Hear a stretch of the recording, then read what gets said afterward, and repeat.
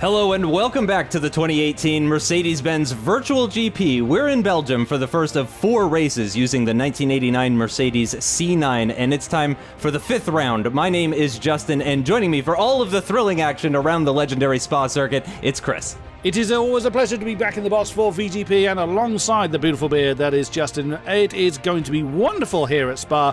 It is the circuit that has seen the light of day every season for VGP. It's been won twice by our current season dominator Michael Schmidl and has also been won by Honzik. So, yes, we are going to be in for a fabulous race with these deep roaring Mercedes C9s. Yeah, and as it stands right now, Michael Schmidl is in fact leading the championship with 102 points to Michael Blazek's 57, so it's a pretty significant significant gap, but then it's very close for second position with Polesny in third on 55 and Stefanko not far off in fourth position on 50.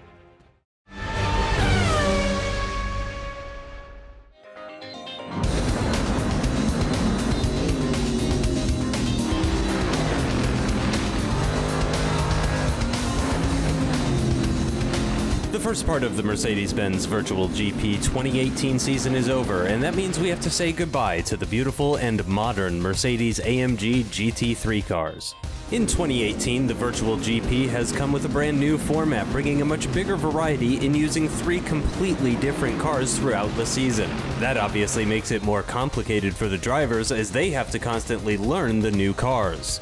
A good adaptability is absolutely crucial to this year's championship, and who better to ask about how to approach this challenge than Jaroslav Honzik, who has a vast experience of racing with many different cars in many different simulators.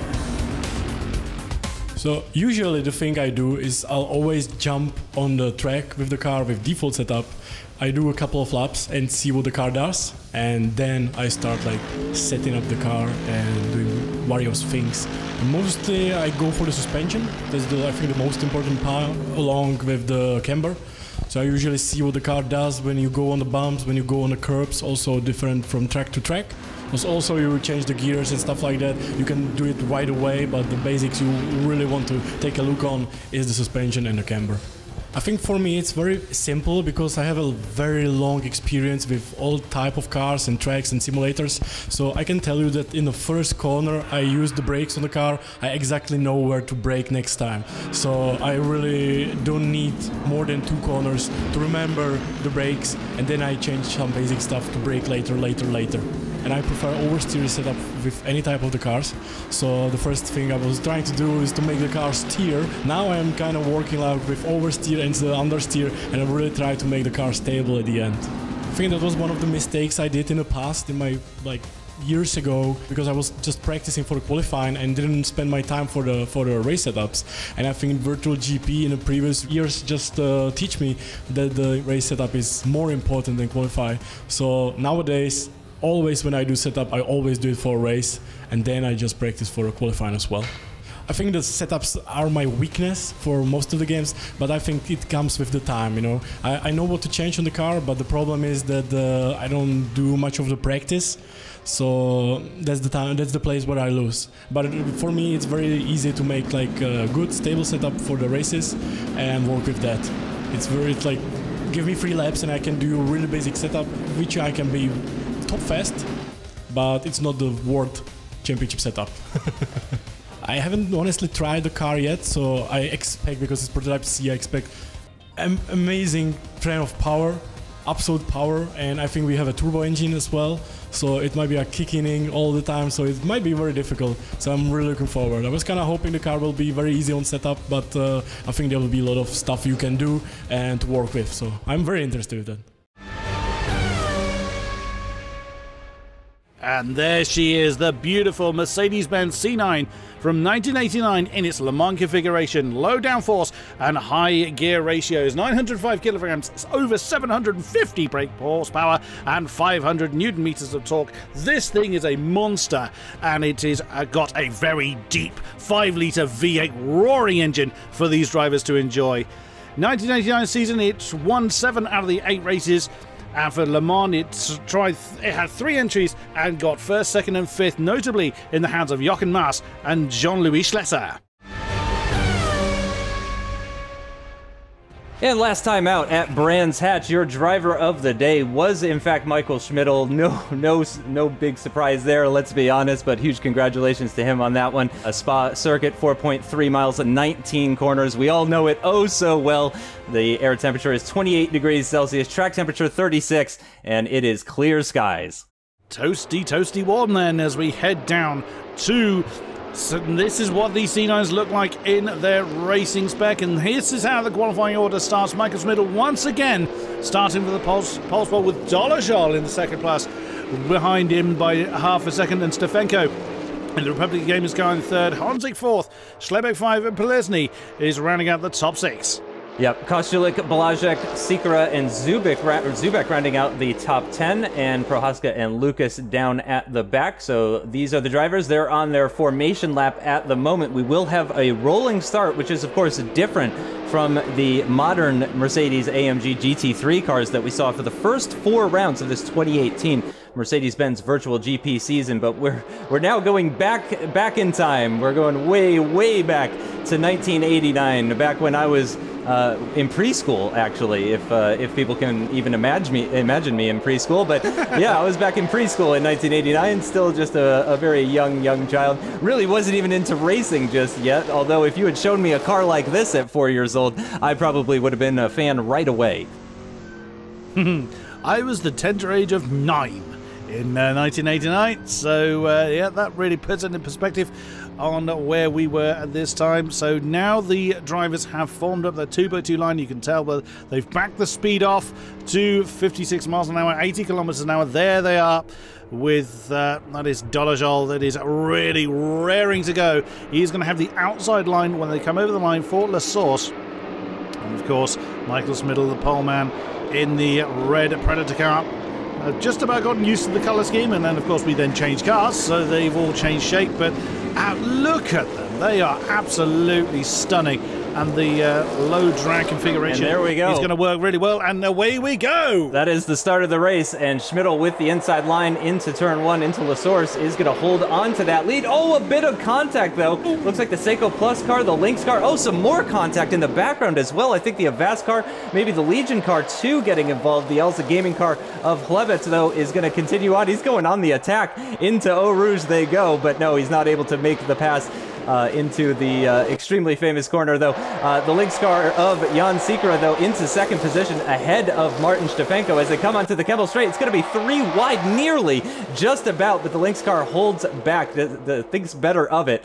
And uh, yeah, this is some really, really close racing we're already seeing, but it is also allowing Michael Schmidl, who is leading the championship again with 102 points. He, oh, and that's the Xiaomi Geek car spun round. That is not the best way to start in these uh, 1989 Mercedes-Benz C9s for Martin Kostulik. That's going to drop him down right to the back as well as Prohaska. He's been involved in some sort of incident as well too, possibly getting involved in that incident with Kostulik. So uh, I'm not sure what's happened there, but the Lynx car is uh, now coming under attack heading into Pouhon. Sikora was up into second position, but it hasn't really worked out well for him in the first half of the lap. But we're already seeing very close racing here, Chris. Absolutely, we are. There's uh, everybody, with the exception of Prohaska and Kostulik, are pretty close together. And Schmidl beginning to stretch his legs at the front. I think we've said that once or twice before.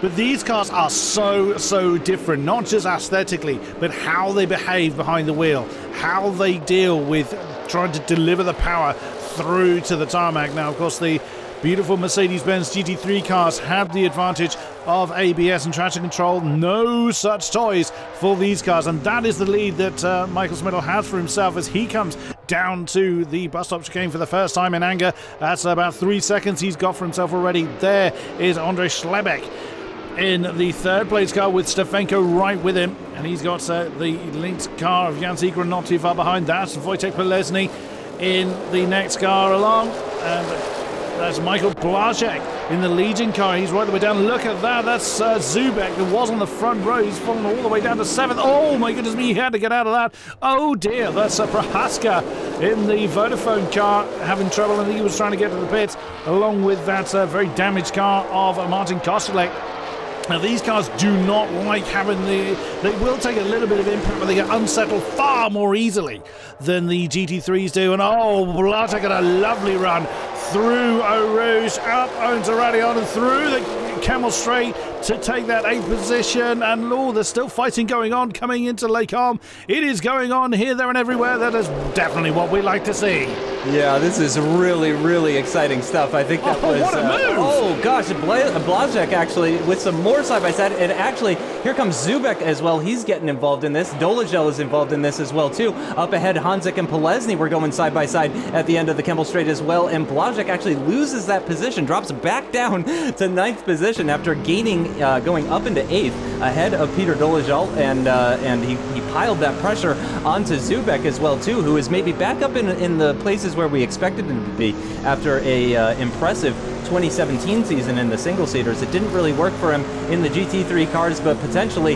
in these Le Mans prototypes from 1989, he could be feeling a bit more comfortable. So Peter Zubek running in seventh position. Peter Dolezal again back up into eighth after regaining that spot from Michael Blazek, who had that incredible overtake and and uh, and then got overtaken as well. But that was equally interesting. So we're already seeing lots of moves. Of course, these cars don't have tons of downforce. Certainly nowhere near the amount of downforce that we see in the single seaters from last year, or that we will see in the single seaters later on this season, starting with round nine of the 2018 Mercedes-Benz Virtual GP season. But we're on board with Michael Blazek, getting to hear that fantastic roar of that incredibly powerful engine. Again, these cars uh, don't weigh very much either. Uh, I think it was uh, 900 something kilograms, so really not much on them as far as weight. Tons of power, and they're, they're about as technologically advanced as a stapler, so it really comes down to the drivers here.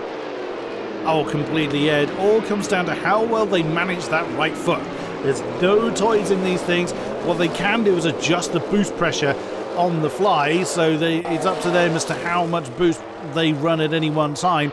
But if they run the boost pressure too high for too long, the engines will not cope. If at full crank, the uh, if the boost is at absolute full pressure, the engines will die within a few laps, so they can't just stick the boost through the roof and worry about it later. Oh, look at that! Oh, bit of contact there. Jan Sikora and Andre Schlebeck, I think that was coming into Les Combes, and the Lynx cars had to take a bit of avoiding action. Oh, goodness me! And then rejoins the track right next to, I think That's it's Jaroslav Hanzik, yeah. Yeah, so Hanzik is really getting the grooves. He, he didn't seem to to uh, kind of midfield at best, which is a strange thing to say about Jaroslav Hanzik in the GT3 cars, but he's really coming alive in this part of the race so far.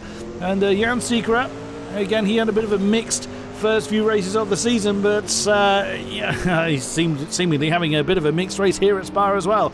But you can also see, whilst we're on board with Jan Sikora, how they're having to take Pouhon very, very carefully. There's a lot of power waiting to deploy itself through these rear wheels, and they don't have the downforce, exactly as we've said before. They don't have the downforce to keep the car glued to the road, with the exact reverse. And look at the tail, actually, of uh, Honzik's car ahead. That is just where the power's just getting a little bit too carried away. And again, they've got the boost to worry about as well. They've got the boost pressure a little bit higher than they might expect, the tail is going to kick out, and they have to be very, very quick to save it. Oh, that's someone wandering very much off the road. As uh, that's Dolezal gaining a couple of positions. That's Blazek's not having a good race at all. That's another position he's lost. Yeah, Zubek losing two positions there, and in fact, Robin Lucas looks like he wants to uh, relegate him down into 10th position as he goes around the outside of Blanchimont. That's not a very common move that you see side by side, just about, but not quite. The Avast car just that little bit later onto the brakes, and the Sandis car will have to stay behind. So Robin Lucas, who again is another driver that has not had a, a fantastic start to his 2018 season, he's going to be on the prowl and looking to gain as many points as he can pick up, uh, pick up a handful of points when he can, where he can, and it looks like this might be a spot where he can. He's right on the back of what is a very busy part of the circuit. Lots of positions possibly to be gained here. Zubek clearly struggling a little bit, has dropped down to ninth place. We did see him running around in seventh as we climb the hill onto the Kemmel Straight on board with, uh, I believe this is Dolezal uh, that we're on Dolezal, yeah. Yeah, it is, and uh, getting the slipstream off of Polesny. Polesny defends the inside line down towards the end of the Kemmel Straight, but it looks like with that straight line speed, he's going to just breeze on by. Here's the battle between Stefanko and Hlebets. Hlebets is still holding on to that lead uh, ahead of Martin Stefanko. The gap, meanwhile, between Schmidl and that pair the rest of the uh, the podium there is uh, is getting bigger and bigger. Seven seconds or so is what we're seeing at the moment. Dolezel has had a heck of a race. In fact, it's been a very busy race. I would say from Honzik down to Lucas, Kostulik and Prohaska, uh, again getting involved in some lap one incidents as well. So it hasn't exactly been a boring race for either of them either, but they are they are a little bit further back and with some pretty big gaps ahead of them at the moment. So they'll be looking to get closer to the group. They'll be hoping that something happens with the drivers ahead that allows them to close up that gap. And I just love seeing the fire spitting from the side exhausts of these of these uh, Mercedes C9s as they get into the braking zone for that campus chicane. And uh, we're on board again with Dolezel just looking at the back of Jan Sikora, who has kind of been all around the uh, the top five, except for the lead because that has been that has been held by Michael Schmidl the entire time. That he has. he has won every race from pole so far, and he's looking to continue that momentum as he is now around about uh, between seven seconds or so uh, in the lead at the moment. And Dolezel is just beginning to reel in Sikora. The Lynx car feeling the need to defend the inside line coming into the bus stop chicane.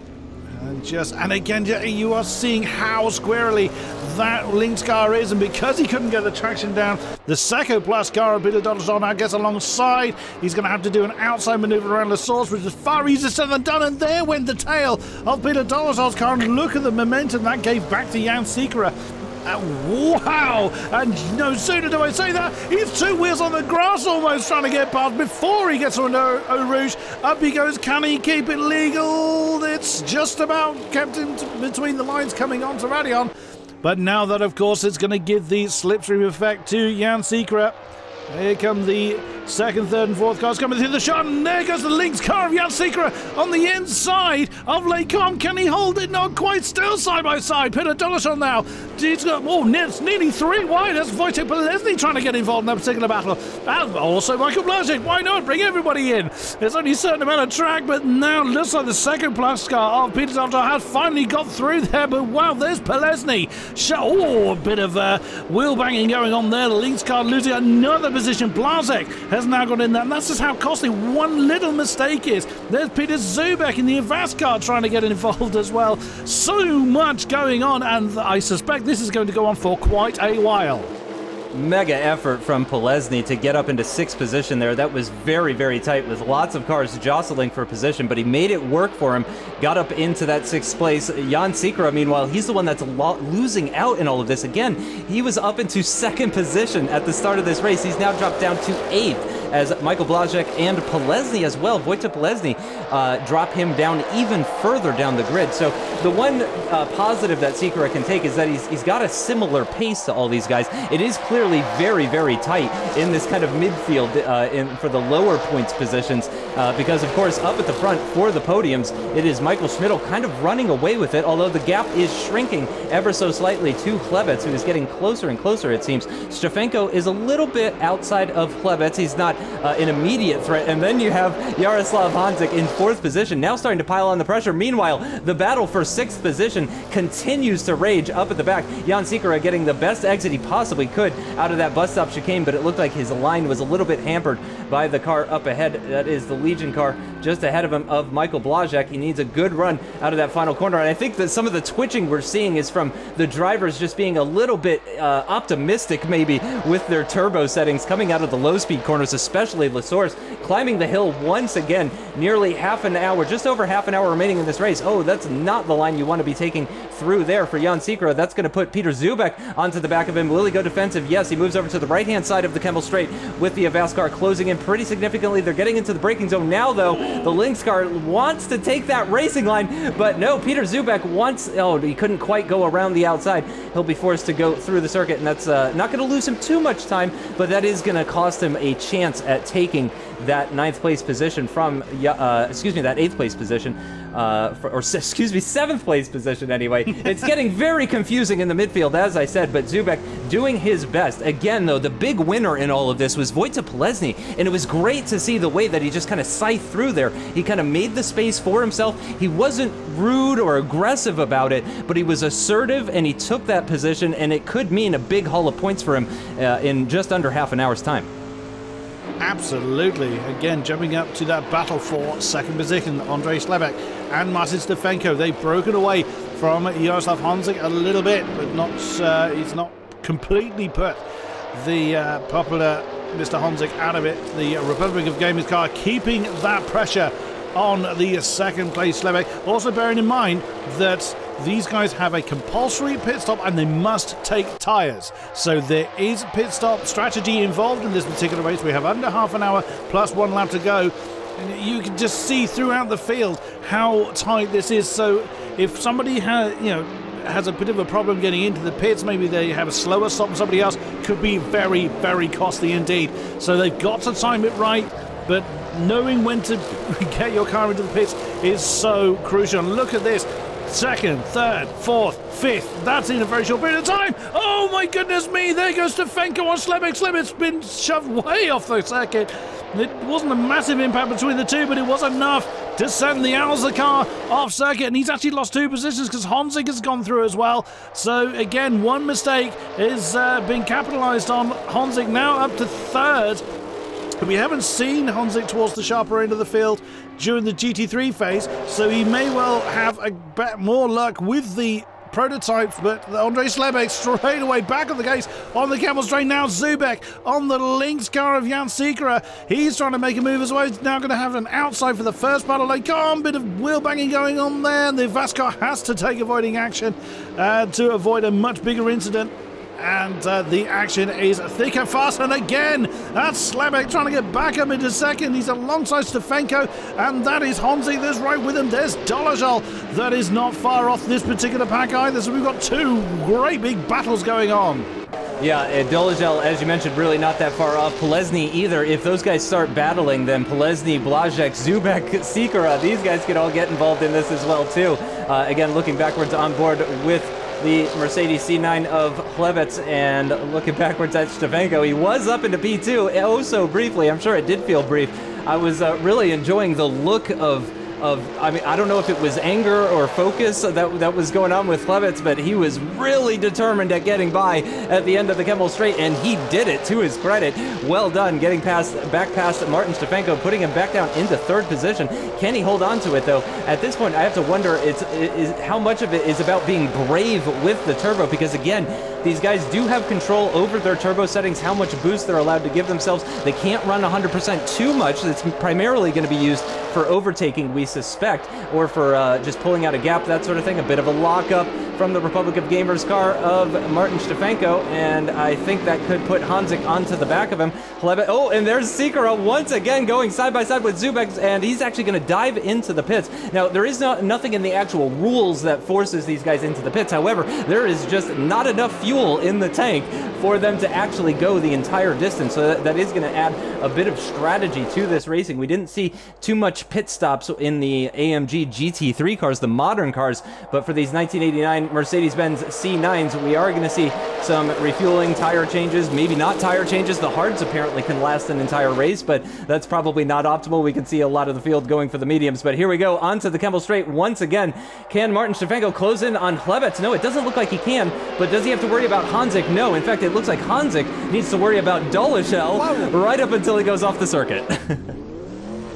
So Jan Sikora then has had his pit stop. he will, of course, come out at the back of the field, but everybody else will have to come through the pits at some stage. the tyres, unless they are running hard. and if they're running hard tyres with this much pace, I would be stunned. We can certainly see on the graphic overlay none of them are running the hard tyres. All of them opted for mediums, and that will not last till the end of the race.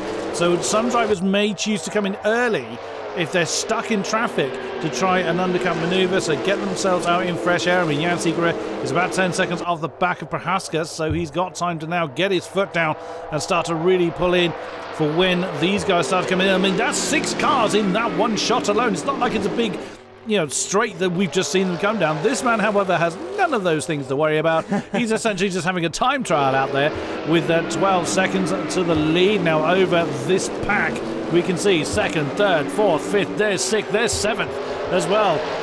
And we saw those cars on the Kemmel Straight in the same shot. That's fine. That's quite a long straight. But we're now seeing them coming through Stavelot, Paul Frère, Blanchimont, all in the same shot. So again, this is why some people won't want to pit too early because it'll put them right behind these guys. And if they feel they can keep the pace going, they feel they've got the grip in the tyres, and the, the medium tyre. Oh, wow! That was a big locker moment. That was a bit of a, uh, a scary moment, I suspect, for Martin Stefanko, but he held onto it. But again, you could just see the the just look of steel determination on his face. You see him in the bottom right of the shot there. Michael Blazek in the Legion car has decided now is his time to pit as well. Only uh, a couple of pits. Oh, Robin Lucas has come in. He climbed up to ninth in his battles, so uh, he seems to be much more comfortable with these prototypes as well. But uh, lots of battling still going on. Yeah, Blazek pits, and I like that. I was I was just about to say I would really like to see somebody involved in this battle here. I would like to see somebody come into the pits now with less than 25 minutes remaining in the race. I think that's a very good call from Blazek, and we'll see if that pays dividends for him. These four cars coming onto the Kemmel Straight once again with the benefit of the slipstream. Will we see any side-by-side -side action? Not quite. It looks like uh, as we go on board with Michael Schmidl, again, the race leader, when will he pit? Uh, that's surely going to be an indicator as it looks like Robin Lucas is into the pits as well. Uh, where will he feed out relative to Prohaska and Sikora? It looks like he's going to, in fact, drop down all the way to the back. So Blazek, Sikora, and Lucas all into the pits for what we, uh, well, is the one planned pit stop. Certainly, I don't expect any of these drivers are doing any two stops. I suspect we would we would be seeing the soft compound if that were the case. But uh, again, the mediums should be just about perfect for a one-stop race.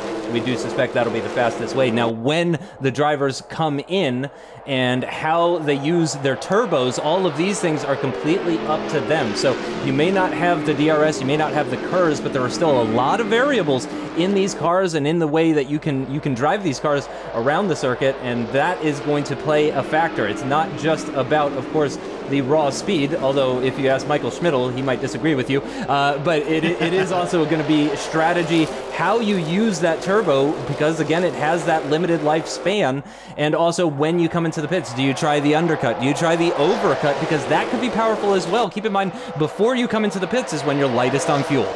Mm. And there is race leader Michael Schmidl. He has decided to come in after nine racing laps. In he comes, and oh, that is so close, this particular pack. Oh, and that was Honzik trying an inside maneuver on Stefanko. Stefanko just shut the door, but he's given it too many beans too soon and got a real big task. Look, look at the amount of cars streaming in, following Michael Schmidl's strategy. But Stefanko wants to try an alternate strategy, and why not? You know, try something different to the leader if you feel you've got the pace to do it. And well, that could have been an interesting incident with the second plus car. So there we go. Look at that. Four or five cars, five cars indeed, coming in at the same time. Martin Stefanko continues on his way then in the lead of the race with Jaroslav Honzik in very, very short succession. Michael Schmidl is 20 seconds down the road now, but of course he has got fresh tyres and is raring to go then we will see. Oh, and that's a bit deep then for Stefanko is pushing a little bit too hard. And he may not have the as much grip in the tyres as he would like. The best of his is probably gone. Jaroslav Honzik doing a pretty good job. Then Prohaska has come in as well. So uh, his race isn't getting any better, it would seem, from the back of the field. But still plenty of opportunities to make up time. Oh, wow, look at that. That is Dolezal in the... Oh, beg your pardon. No, that's the Avast. That's not Dolezal at all flying past uh, Schlebeck. That's Kosely flying past Schlebeck, I believe. Wow, he's certainly uh, got his right foot where he needed to be. Wow, that's impressive stuff. Actually, yeah, that was uh, that was Zubek getting past uh, Polesny. Polesny's race now. Polesny was involved in that battle. Don't forget. Uh, but Zubek has just kind of made mincemeat out of him. He, he, had a pretty significant gap by the end of the Kemmel Straight there, so uh, I'm not sure if Polesny has encountered some sort of problem. I do believe I saw him throwing his hands up in the air when he was in the pit lane. Or I, am not sure if he was in the pit lane, but I, I, definitely did see him throw his hands up in the air at one point. So uh, I don't know if that if that was frustration because of a mistake or uh, if somebody else interfered in some way. But Martin Stefanko is coming through Blanchimont and towards the bus stop chicane with Jaroslav Honzik in hot pursuit.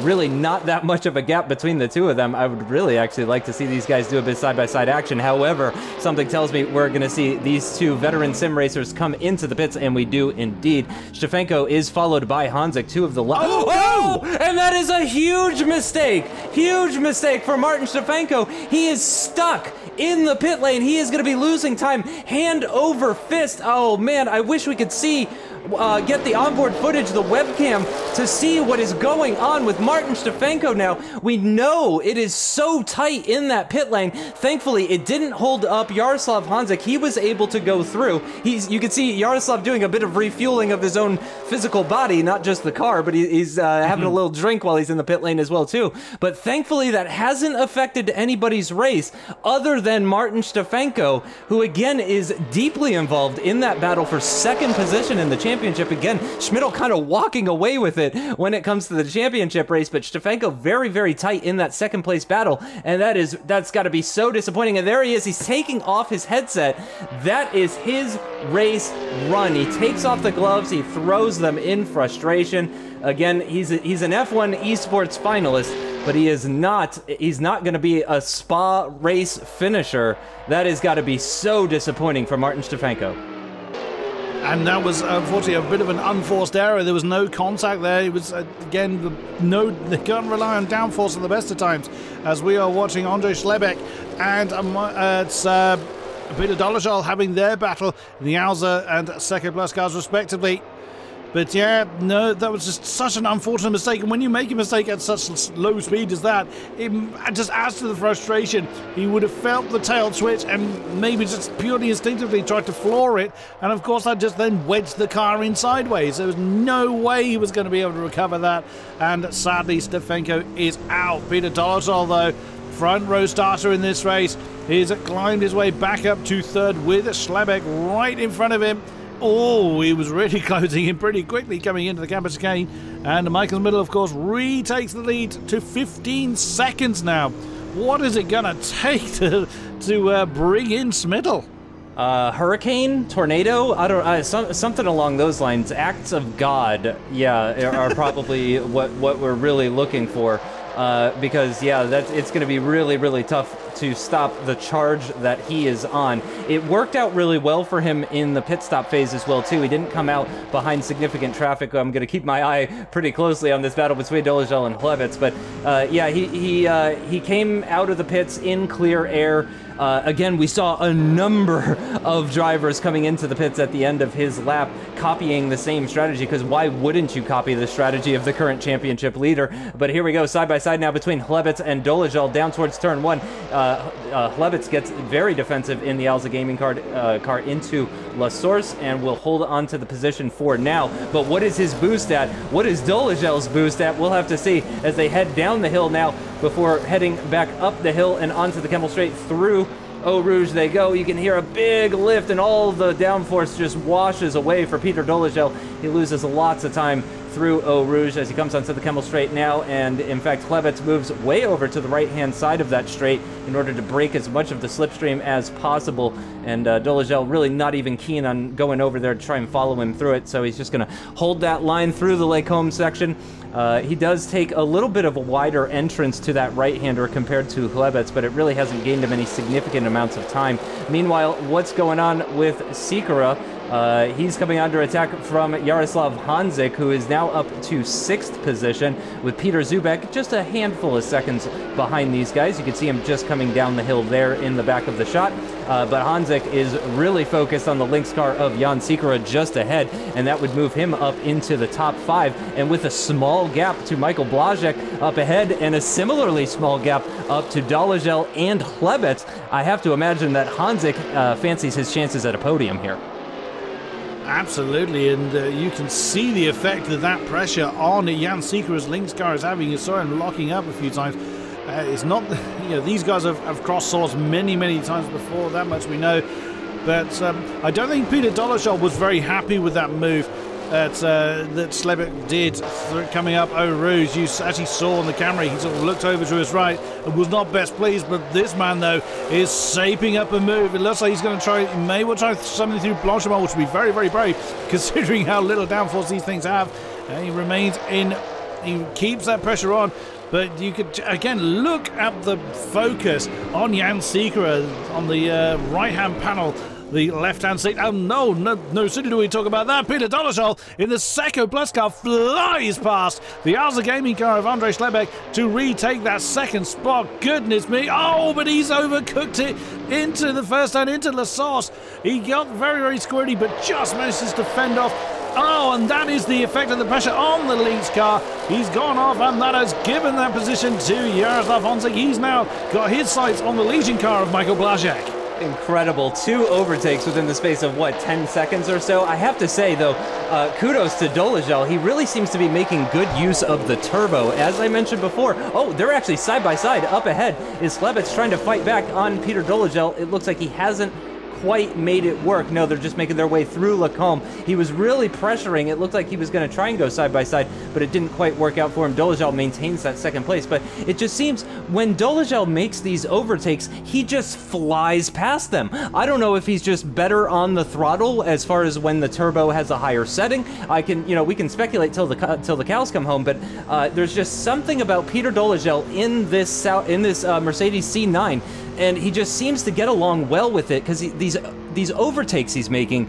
seem effortless, and I'm sure they're not uh, from the driver's perspective. they never are, but they just seem so effortless. So I got I really got to give it to uh, to Dolezal. And there's uh, Polesny again.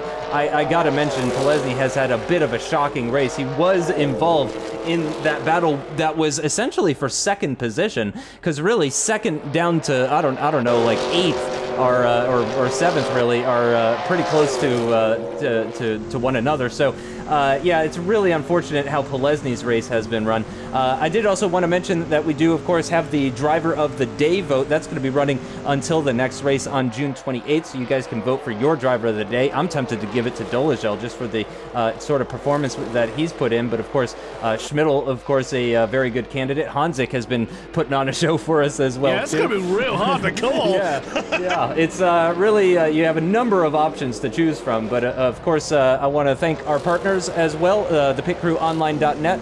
Uh, they're the partners of this English broadcast, so I want to uh, give a shout out to them as well too. And of course, uh, to the viewers, don't forget our prediction game as well. Uh, you can uh, uh, have a chance to win an elegant Mercedes-Benz Black Edition Business Chronograph watch, which I'm sure is almost as gorgeous as this C9. Yeah, I don't think you'll be able to win the C9, which would be quite amazing, but... Uh, oh, now that's a competition. Oh, yeah, that, that, that way we'll fight you for that. you, you, you, know you, you know we work well, but in that case, no, no, no, no, no. so then, we are looking at Peter Dolezal in the second plus, and look at the gap that he has already built up Impressive. to Andre Schlebeck. And then right behind him is this man, Michael Blazek, in the Legion car. He's... Uh, had a bit of a mixed. I think it's fair to say everybody has had a bit of a mixed race. But what we can certainly grab from this, it is so easy for the car just to snap. That we've seen the tails wagging, we've seen them kind of going off the road where they haven't been able to slow these monstrous cars down early enough. And uh, here's another person I want to give a shout out to, Robin Lucas. In the Sandisk car, he really struggled in the GT3s, and he's you know he's eighth now haven't seen him come to grief, so he's really been able to keep himself out of trouble, and he's really capitalising as well. But this man, of course, Michael Schmidl, continuing is like we, you know, continuing to stamp his authority on the season. He will not let us forget his name in that red Predator car. It's not like not that we would ever would forget him, but of course he. Uh, it's just it's not leaving anything to chance. He doesn't want to just ease off a little bit. Of course, you start to slow down. You start to think about just bring it home instead of pushing on. And it's amazing how easy a mistake can happen. And these cars are a handful at the best of time. Here is Peter's, uh, Peter Zubek in the Avast car. He is chasing Jan Sikora for sixth position, coming through Blanchimont at the moment.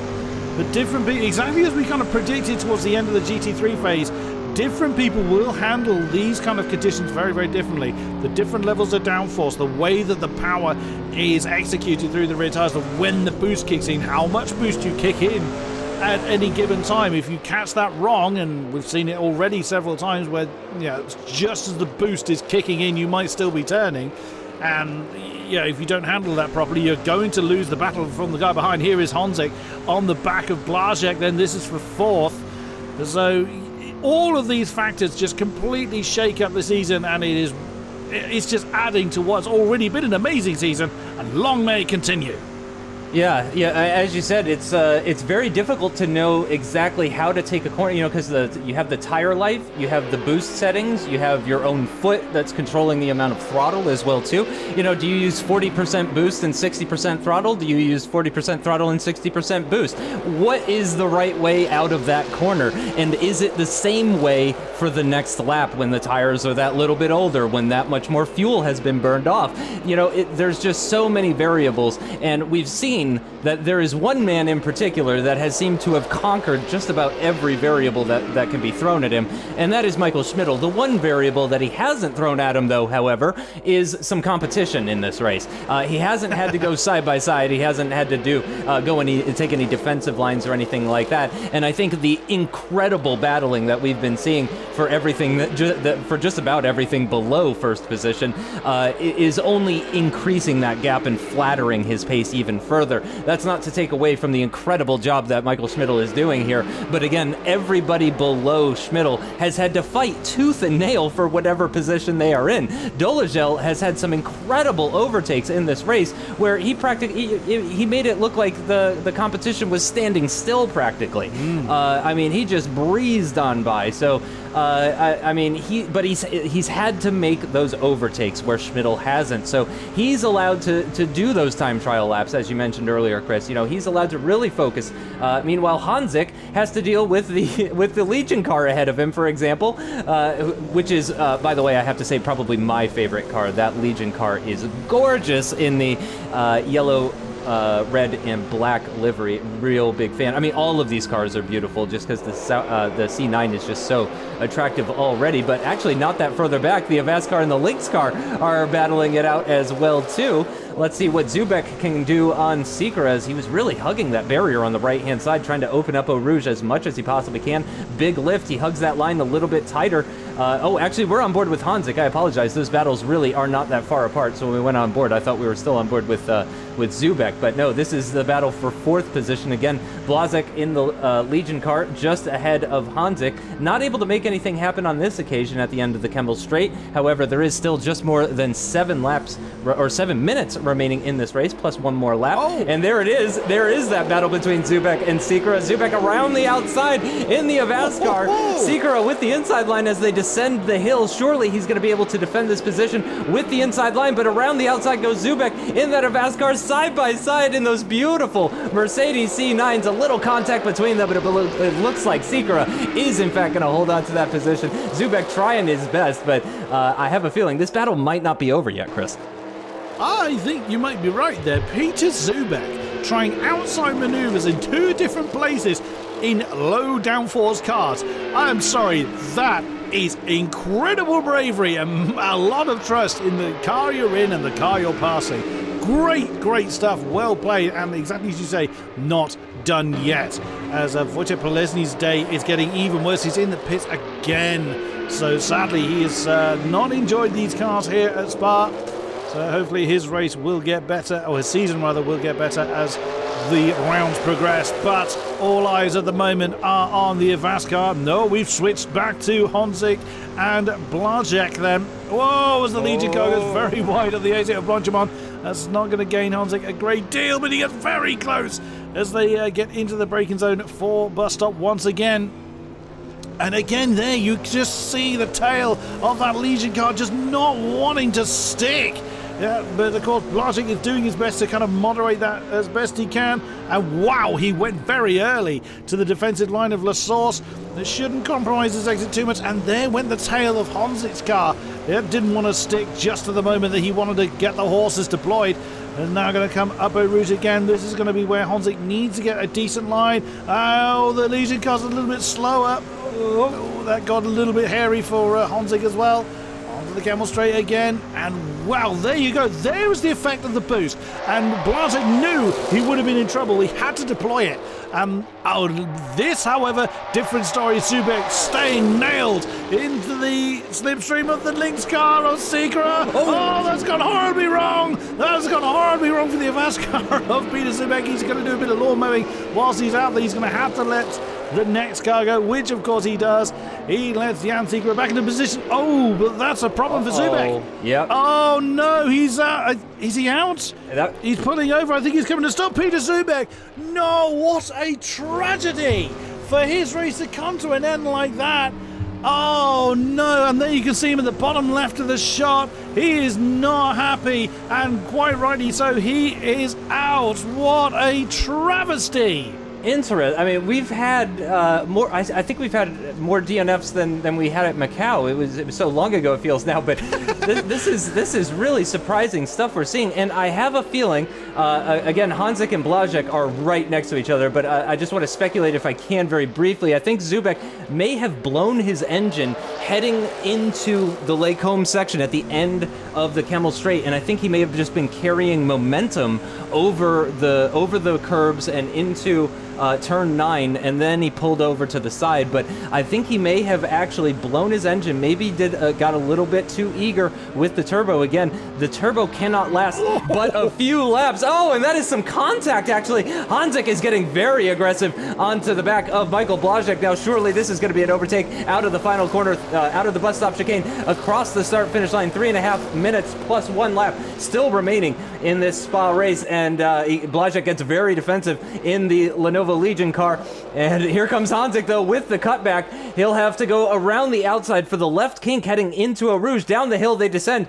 I imagine it's going to be full boost for Blazek to trying to defend this, and it looks like it's just going to be enough for the Legion car. He stays ahead of Jaroslav Hanzik, but with the slipstream and possibly some boost, Hanzik could take this fourth place position. It looks like he may be out of the fight for the podium. We suspected he might have been involved in that earlier in the race, but now with the uh, with the move on the Legion car, he will move up into fourth place. But he's got a pretty big gap to Hlebitz up ahead. I'm not sure if Hanzik. Oh, but here comes Blazek back at him. It's not over just yet. Just like Sikora and Zubek, uh, uh, just because the move is done, I don't think the battle is over just yet. So Blazek moves down to fifth. Oh man, you got to feel for Blazek. He's had three podiums already this season, three out of four races, and he's gotten podiums. It's been a fantastic start for him. He's been one of the most consistent drivers, and he, it looked like he was going to finish just outside the podium, but Hanzik relegates him down to fifth position. We'll see if Blazek can fight back with him. Uh, but as I mentioned earlier, I think in the case of Zubek, that may have been a case of him losing the engine at the end of the Kemmel Straight rather than as he was going over those bumps and curbs Yeah. through the Les Combes section. So, uh, again, we're just hypothesizing on that one. But again, we'll continue to monitor this battle between Hanzik and Blazek because, again, Chris, I think it may not be done just yet. Uh, not too far up the road, exactly as you mentioned earlier, is Andres Lebeck. Uh, I think it's, he's going to take a mistake from the Alza Gaming car to bring him into that battle, but you just never know. He was a man that's uh, seen his fair amount of action today. Is the Xiaomi Geek car of Martin Costa.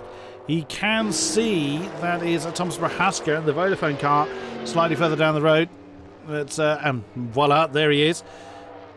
It's, a, it's been a fairly, I'd say, comparatively quiet race. They may not agree with this, as uh, they've had their own uh, battles to deal with with the actual car themselves. Back up to this particular collection of cars here. There is Slebek, there is Hanzek, and there is Blazek. And in the background, you actually saw Sikora as well. He's a little bit too far off the back of this to be involved. We have got just over a minute plus one lap to go. So uh, depending on where Schmidl is, now imagine he will the timer will have expired before he crosses the line. So we are on the penultimate lap then. And look at the gap that Hanzik's already got for himself over Blazek. So either Blazek's just simply taking it easy, maybe conceding defeat, which is uh, not a, not in the interest of any driver. And there is our race leader, Michael Schmidl, coming down through. That's uh, Pouhon. He's coming through then, so he's not going to make the flag. He's not going to beat the flag in the next 30 seconds unless he, he goes finds a lot of pace and downforce from somewhere. But uh, so this is indeed the penultimate lap. He can pretty much ignore top gear at this point and just kind of coast home, but of course he won't. He will want to press on and ensure that he doesn't. And you can again see that that, that little twitch from even Michael Schmidl's car, the Predator red car, is uh, not without his battles as well, albeit with himself as opposed to anybody else. So he's had those kind of fight battles as well. It's not been all plain sailing for Michael Schmidl, but exactly as you said earlier, Justin, he hasn't had to defend from anybody, so he's been able to take the exact line he wants to get the braking zone he wants, etc., etc. He hasn't had to contend with anybody else. So then, here he comes into the bus stop chicane to start what will be the final lap. That's right, white flag this time by for Michael Schmidl and indeed the rest of the drivers as they will follow him through. Dolezal uh, a little bit more than 10 seconds or a little bit less than 10 seconds actually. Uh, I'm not There he is in the background. Is is is that Dolezal in the background? That didn't look that didn't look like the Seiko Plus car. That might have been a lapped car possibly. Uh, we do know that I think it was uh, Polesny that came into the pits. That was yeah, Polesny uh, might be looking to yeah he's on the softs right now. Polesny is pushing for fastest lap because of course you can get an extra point, and he was already down in tenth position. Uh, so if he can pick up fastest lap on those softs, that'll actually double his points haul. um, but yeah, it, it really has uh, been a case of a, a, tale of two predators in this race with the Predator red car of Michael Schmidl, who we're on board with now. Uh, it's, it's been a fantastic race for him. Uh, uh pretty much uh, the best race you could ask for.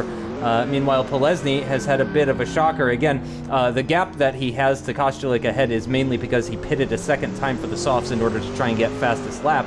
however, he, he, he has been right down at the back. However, all of the finishers will, in fact, will be scoring points today due to that issue with Zubek and Stefanko. And if you had asked me to pick which two drivers were going to DNF, if you told me two drivers are going to DNF, which two will they be? I don't think I would have picked Stefanko or Zubek, to be honest.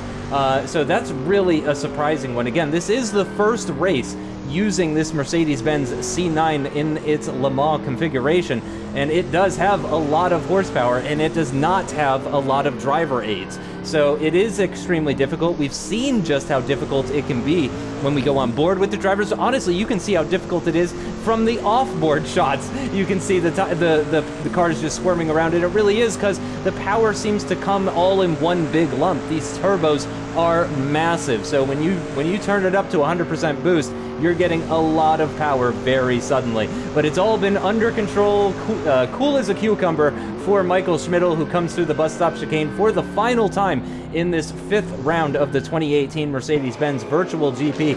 And it is going to be a fifth out of five victories for Michael Schmidl. I don't think he would have gotten uh, the fastest lap because I think that is going to go to Polesny.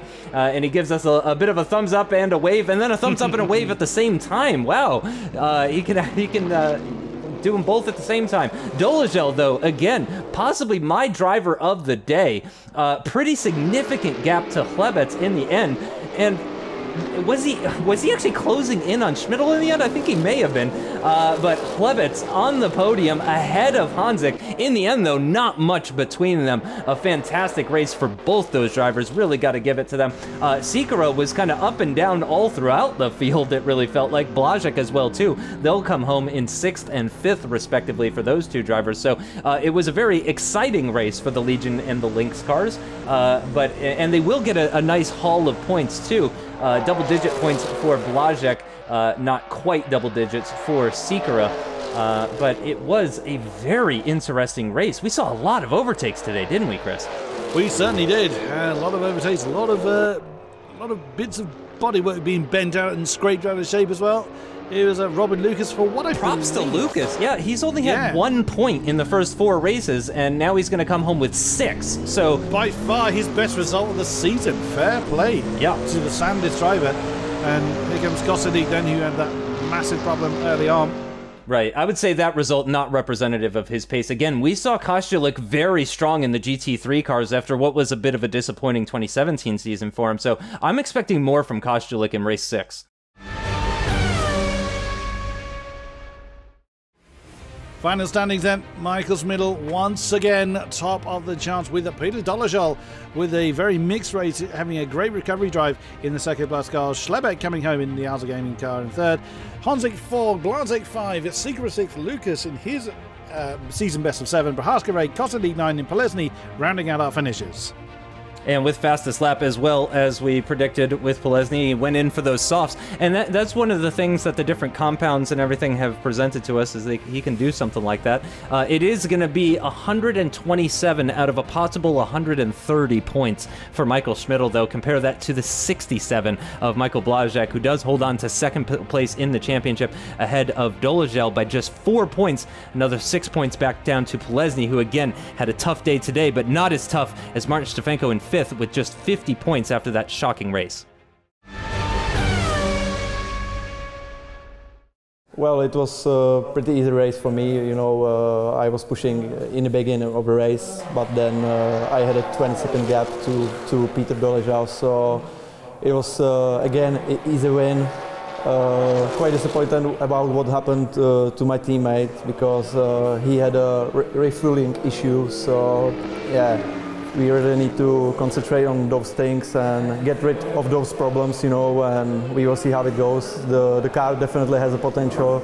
We need to make some adjustment, you know, on the on the suspension. I, I think so. Yeah, there's def definitely more to come during during the this phase of the season. So, yeah, let's see what happens. And I'll, I'll translate for Andre Hlebets. He says, I'm really happy about my first podium, but it should have come a long time ago. We had a chaotic start. Sikora made a dive bomb into turn one, so it was not easy. Over the next few laps, he fought with Stefanko, who he managed to pass, and then just tried to pull away from the others. Uh, after his pit stop, just tried to save the engine and not make any mistakes.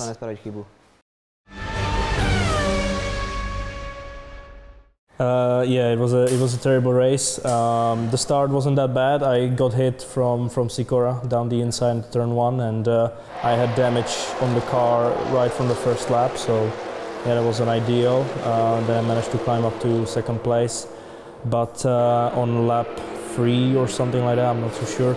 Um, the pedals basically started moving around when I when I was braking. So uh, either either I braked too little or or I outbraked myself, and then I obviously made that mistake uh, into the pit stop. I'm not really sure what happened there. If I put uh, too much uh, too much throttle in, or uh, if I hit something, I'm not too sure. I'll have to look at it, but uh, for sure.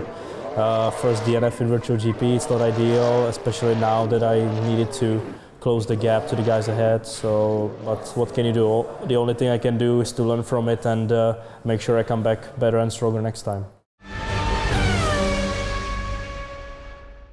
So here it is, our first podium in the Mercedes-Benz C9, and it is a maiden podium for Andre Hlebets. A, a huge congratulations to him. Uh, also, fantastic race to Dolezal, but it is, of course, Michael Schmidl who picks up a fifth win in a row in the 2018 Mercedes-Benz Virtual GP season. What an incredible race it was for Chris and the rest of the team. Thank you so much for watching, and we will see you next time.